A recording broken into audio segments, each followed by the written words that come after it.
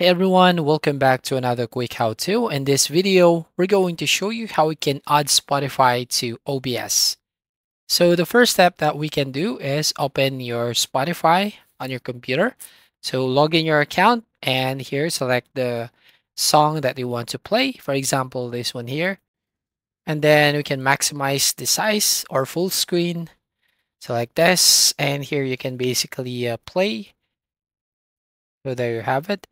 Now go back to your OBS and then here go to sources and uh, click on the plus icon right here and then select this window capture.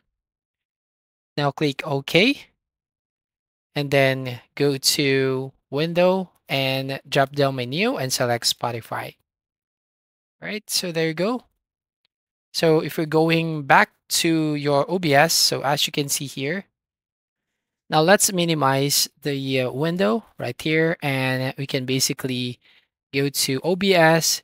You can resize this one by uh, pressing Alt on your keyboard and then drag on the side or top of the window and make it like smaller like this to show only the uh, multiplayer or the title of the song just like this and we can put it right over here.